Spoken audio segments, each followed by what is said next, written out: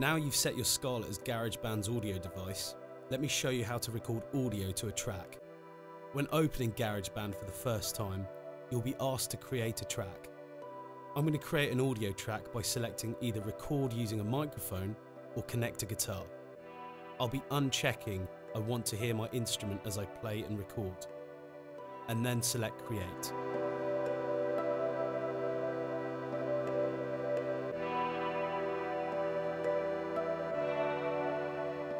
We'll start by saving the session. Go to File, Save, and name your session.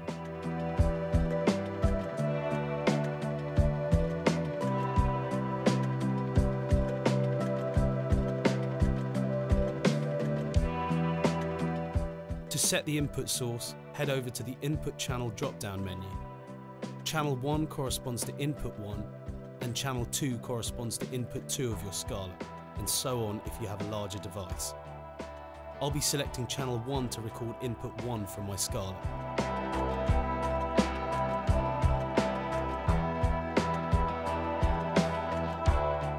Press the record button in the transport bar to start recording. Play your instrument or sing into the microphone connected and you'll see the waveform being recorded on the track.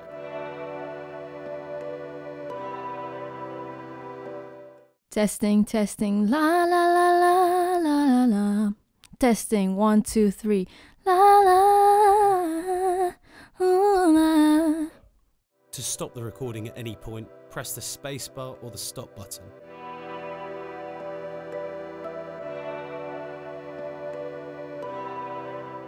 You can play back the recorded track by pressing the spacebar or the play button. Testing, testing, la la la la la la la. Testing, one, two, three, la la. La.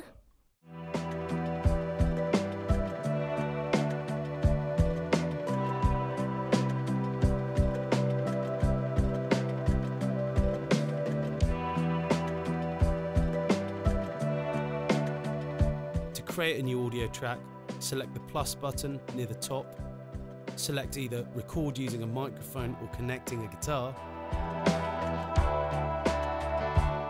then select create. Configure the input settings and you'll be ready to record.